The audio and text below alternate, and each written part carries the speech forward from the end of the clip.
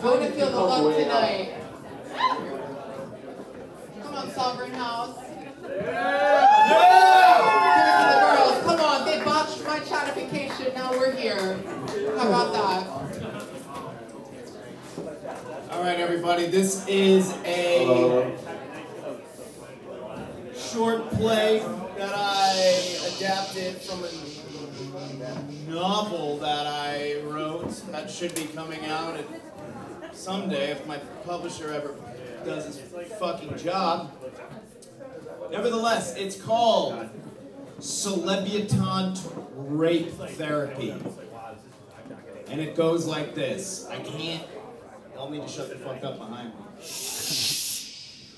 Uh, okay. Ready? Oh, yay! Dr. Drew looks at her, almost betraying a kind of sadness. Katrina senses a tenderness. She feels an impulse to suck his dick, swallow his cum, imagining herself doing one of those porno movies where they kiss the tip with the mouth full of jism and just let the cum seep down the cheeks. Well, let's just uh, let's focus on you. We've we've struggled to outline the conditions leading up to your. Well, I, I don't want to call it a breakdown, but the incident. Do you think we could talk about it some today? I guess we can try. Sure, why not? So you were supposed to speak at a conference on women's rights and sexual abuse. Do you, do you remember feeling more anxious about this seminar than others you've done like it? I like, I don't know, I used to love doing them. This one though, maybe it was like, like bad timing. I got really bad vibes from it. Uh, what do you mean by bad vibes? I mean, there was like a lot going on. Yes, yes, that's what we should be talking about. Well, you're the doctor, Dr. Drew. We're going in circles. Okay, so to circle back, we need to start somewhere. You haven't talked about anything other than, uh, let's see, well, Rihanna and um, your parents. God, don't get me started on my parents. Those fuckers put me in here. Well, you, you don't think they belong here? God, no, Dr. Drew. I mean, fuck. Not many teenagers have been through what I've been through. I'm not allowed to have one bad day. Okay, so let's okay, so let's um let's talk about trauma. You, you've been through a lot. Tra- trauma is what defines us, Katerina. It's the key that unlocks the essence of who we are. If we can locate yours, we might be able to start the process of healing. Katrina tears up. She was in love with the doctor, sort of. He was kind, his voice soothing. She wants to thank him, maybe climb on top of him. She wonders how he'd respond to having her tight little pussy gyrate upon his lap. Okay, well, ask me some questions. I'm ready. Well, uh, let's start with the event that, from my perspective, seems to have kickstarted all this. Uh, the sexual abuse that you were on the receiving end of with this older man. What was it, Elijah? Katrina's face reddens. It's uncomfortable having to relitigate an old lie of hers with a man she respected, maybe loved, but definitely wanted, at least in that moment. Dr. Drew remi- even reminded her of the Elijah in question. That's hard to talk about. Hard to talk about. Uh, that seems odd, given that you had no trouble talking about it publicly on social media and um, in interviews. I mean, do, do, do you think it's um, what, what, what, what would the reason be for it being harder to address with me? Her anxiety unshackles itself from the benzos, and her heart rate jacks up just a bit. Well, I guess you kind of remind me of Elisha. Oh, yeah, that's good. That's right. uh, do, do I um uh, do I come off as um uh, threatening to you sexually No. or otherwise? No, not at all, Dr. Drew. You're so sweet. You make me feel safe. Dr. Drew can't conceal the smugness in his expression.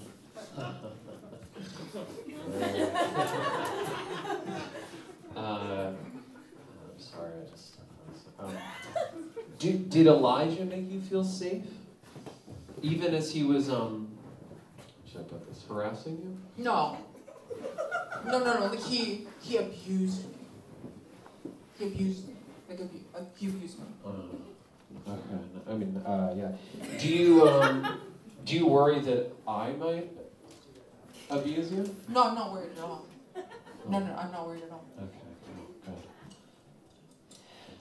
So, just I want to be really clear about this. What exactly is it about me that reminds you of him? Well, the, the fact, the fact that you're older Mm. and you have a, a sort of sweetness. Uh, yeah. So your um, rapist had a sweetness? he wasn't truly a rapist. Dr. Drew smugly congratulates himself for hitting a nerve. Moments like these were his euphoria, his last addiction. So during your breakdown, you claimed that indeed Elijah never hurt you. I think it was even your, your mother assured me this wasn't true, but I suspected it might be. That begs the question why did you destroy his life? Katrina feels exposed and naked after weeks of isolation and thousands of milligrams of ego dissolving drugs. She feels the truth clawing its way to the surface, a kind of physical nausea. She needed to so badly expel the dark energy that she'd been con- constipated with for almost two years. What do you think? It's appropriate that a man in his 40s had a sexual relationship with a teenager? No, no. God, no. I find that disgusting. But I also, uh, I also believe there's a, a wide gap between a relationship that you pursued and rape I've been raped, Dr. Drew. by this person now called Frederica. Yeah. So, Here, s- sweetie, sweetie.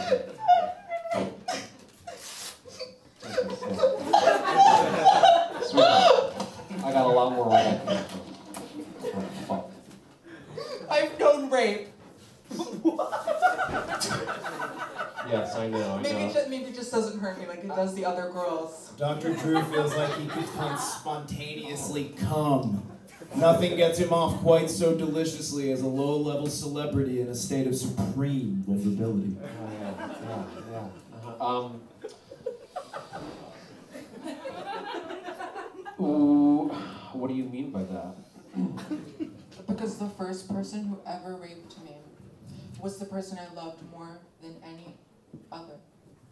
And who was this? My brother, Samuel. Whoa. Dr. Drew's eyes widen and pupils dilate as if he's intravenously injected amphetamine, his whole being wide awake. Okay, so your brother? Uh, oh, oh, shit. Well, that, that was not in my notes. Um, why did you never tell me or, or anyone about this? I wanted to protect him. All we had was each other. Do your parents know about this?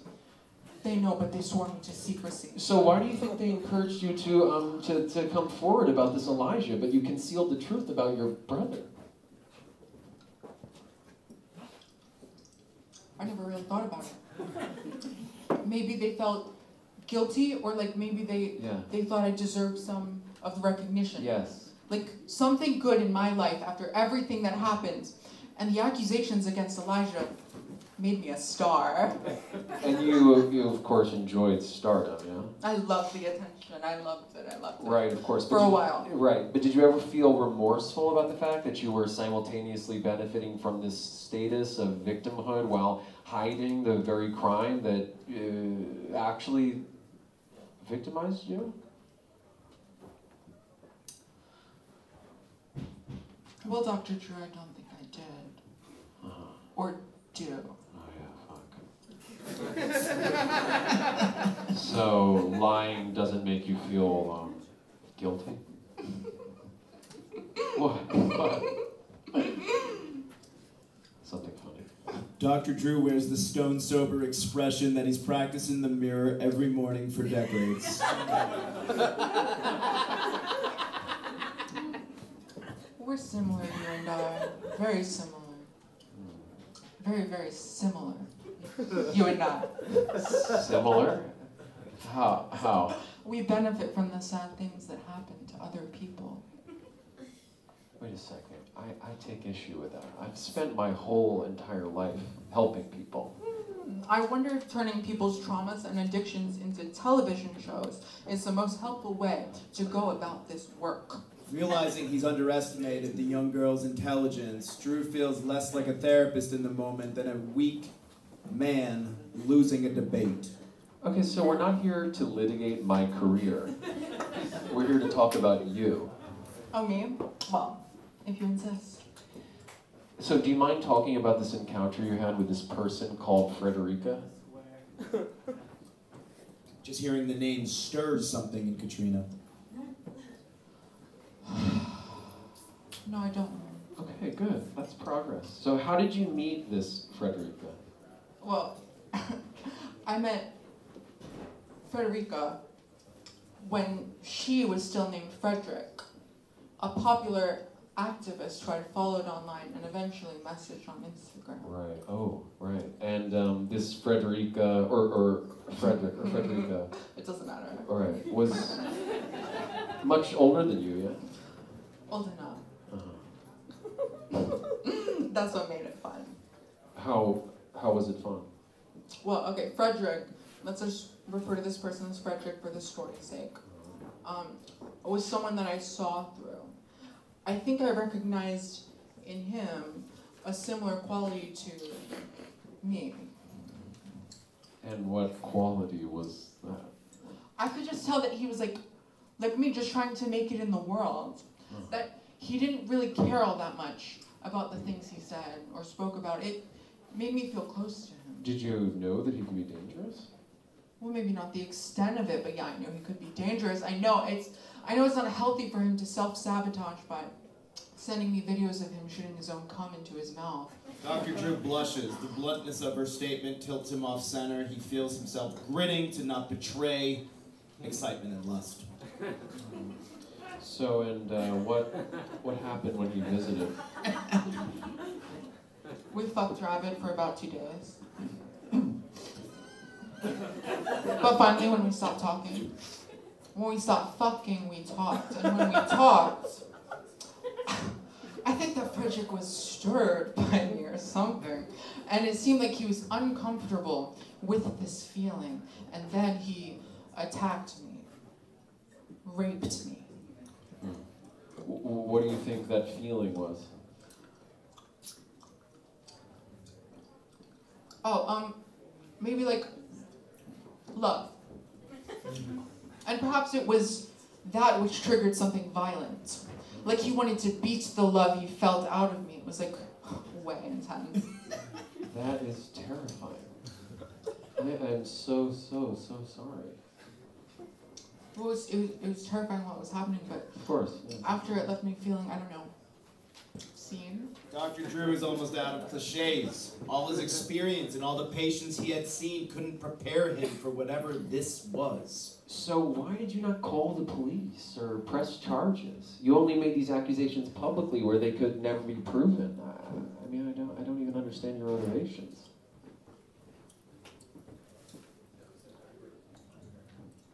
Well, the simpler answer would be I knew the scandal with me and another famous activist would be great for my brands.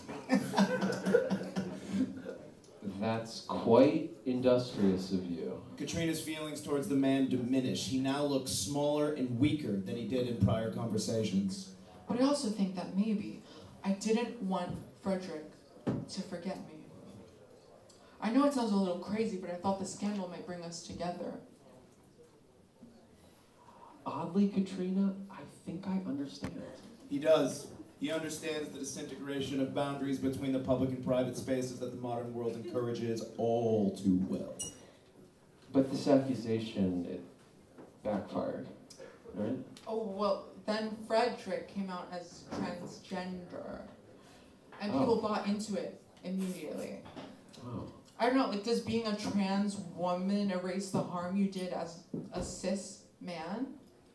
Whatever, I guess it does. Nothing makes sense except nonsense. It was a brilliant move by Frederica, let's call her that now, shall we? So, Do you question Frederica's trans identity? It doesn't matter, Dr. Drew, does it? I mean, she looks kind. She does, dare I say, look quite cunt. Um, so has your attraction towards her diminished? Oddly, not at all. Oh, how, how so? That's private. But I know that Frederica feels it too. And that she'll come for me. Dr. Drew writes down more notes, and when he looks back up, Katrina is on her knees, leaning into his lap. He's shocked, appalled even, but his cock is throbbing. His body at war with his own pantomimed professional ethics, he does not know what to do. I, I, I, I, Katrina, what, what, Let's just what are cut you? to the chase, No. doctor. I suck you off and you get me the fuck out of here. I don't want to. I, I lose my license. Get me out of here, I have a very lucrative Please, contract to go at home. Fox. They're not attempts listening to on my phone. No, serious Sirius takes XM. over. What? Before he Ditch can me. think, the tip of his erect oh. cock is in her mouth. It feels wet, Oh. soft. The guilt and shame makes him all the Fuck, harder. yeah. He's ready to explode. Oh Get me out of here. Security. Security. No, Get let go of me. this disgusting person away from me. Watch out, watch out. All right. That's it.